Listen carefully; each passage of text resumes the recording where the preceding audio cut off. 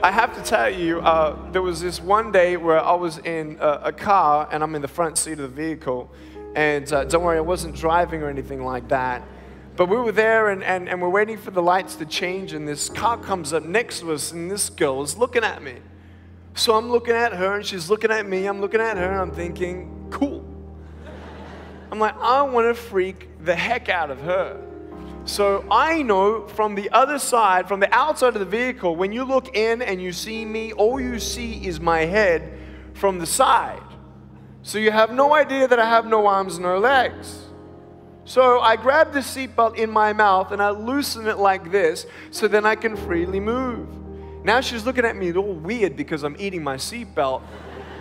But with that undivided attention, knowing all she sees is my head, just imagine that's all you see. I just did this.